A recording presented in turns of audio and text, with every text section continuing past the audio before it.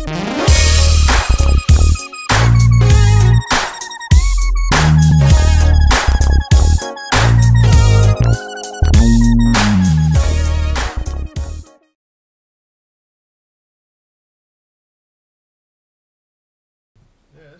is a battery for one of my strobes.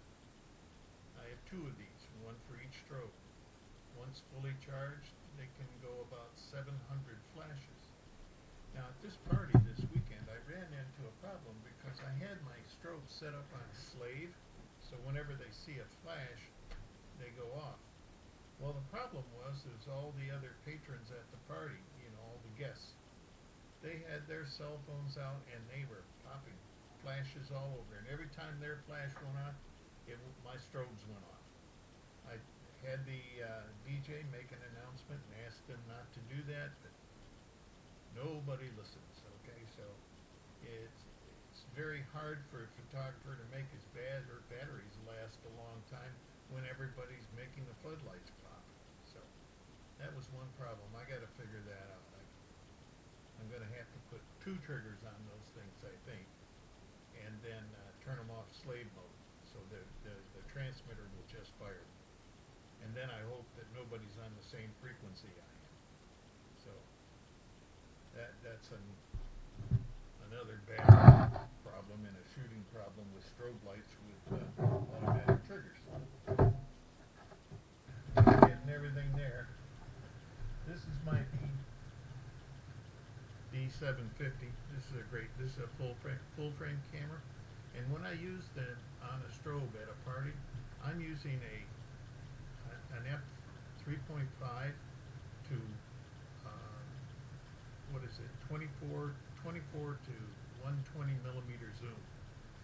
Because I shoot everything and when I do portraits, usually F8 to F11. I don't need a really uh, 1.4 or 1.8 lens. All I need is something that is adaptable and it's a good lens. And this is a Nikon Nikkor lens, and that's good stuff. Okay. And this is a full frame camera, so I get a big sensor, lots of pixels to work with, so I can blow pictures up as big as a wall. You know, doesn't matter. I won't lose any quality, or very little anyway. So. Another thing about this camera is the flip-up screen. This thing is fantastic because when I set it down lower, you know, some of the people I, I shoot, they're sitting in chairs. I got a bad back. So I flip this screen up, lower the tripod, and I can look there and I can get my focus down and everything right here on the screen. So having a flip screen on a camera is a good thing. Good lens, good full frame camera, and a flip screen makes all the difference in the world. Clean them up, polish them up, the lenses do a good job. This is a cable release. This into the camera, and then on a long exposure, say, say you're going anything more than you can handhold.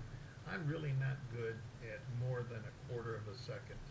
I need something faster, but anything more than a quarter of a second, I use a cable release.